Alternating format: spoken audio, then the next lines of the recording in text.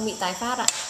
Còn đấy là thảo mộc dưỡng giá trần kim huyền nha các bạn nha. Cái này thì dùng cho những cái những cái lan giá là bình thường và hơi mùn và hơi khô. Đó cái, cái sản phẩm mà thảo mộc dưỡng giá này á, ừ, gọi là dưỡng giá và à, và và giữ ẩm giá rất là tốt. Và đặc biệt những cái à, cống côn côn trùng này cắn đốt mà dằn nhẹ đó các bạn nha. Côn trùng cắn đốt dằn nhẹ cùng à, cùng rất là hiệu quả. Và và cả cái vết nứt nẻ môi này tay chân này coi là cũng rất là được.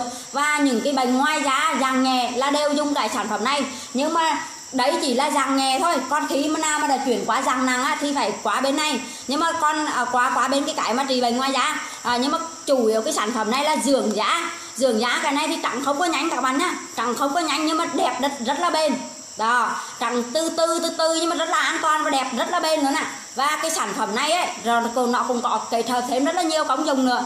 Ví dụ như bị bỏng này là các bạn bôi vào cũng rất là nhánh xẹp này. Và gọi là chủ yếu của nó là dưỡng mát da.